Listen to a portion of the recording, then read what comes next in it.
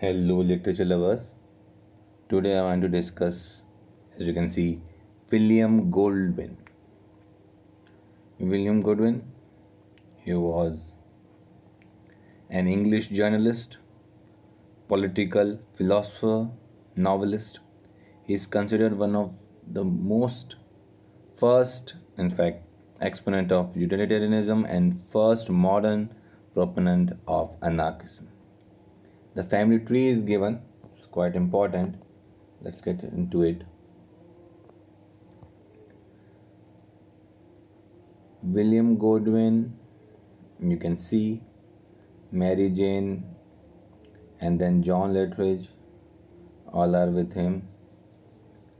Mary Wollstonecraft, his wife, then Gilbert in relation to her, and Fanny, who was also related. Now come Mary Godwin, and then she became Mary Shelley, her husband P.B. Shelley, and the cousin. You can see, and they're also quite related to each other. So the family tree represents a clear picture of how great this family is. And I personally really praise whenever I start teaching Godwin because of this family tree. It really intrigues me that how a pedigree is going out in the blood of great literary standard authors. Now, Godwin is most famous of two books that he published within the space of a year. First, an inquiry concerning political justice, and it is an attack on political institutions. And second is Things as They Are or The Adventures of Caleb Williams. This book is really good. An early mystery novel which attacks aristocratic privilege. So you can see the variety of work that it is. It is based on the success of both Godwin, you know, featured prominently in the radical circle of London in 19 in 1790s, and he wrote prolifically in the genres of novels, history, and demography throughout his life. He belonged to the 19th century philosophy, and the region which he was concerned uh, Western philosophy. And one thing that I personally like about the way he used utilitarianism is something really special, and especially related to the philosophical anarchism, and that really intrigued me.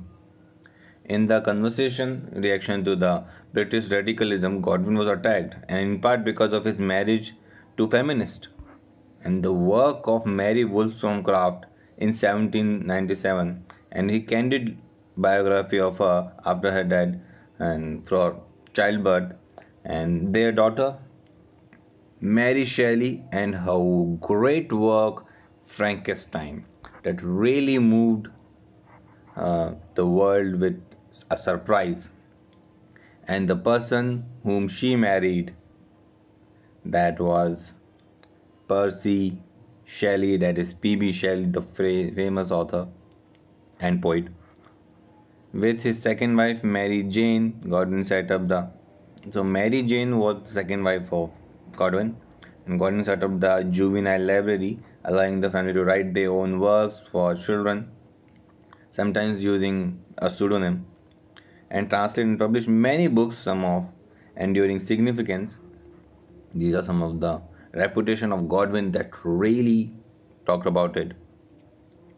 Godwin had considerable influence on British literature and culture, literature culture, and his works, his marriage, children, the legacy goes on, never stop. In fact, Godwin was buried next to Wool Mary Wollstonecraft in churchyard of St. Pancras where he had married, and his second wife outlived him and eventually was buried there too. you can see the picture and his diary. These are some of the authentic works. To really talk about it. This is the picture godwin in london. You can feel that era from there.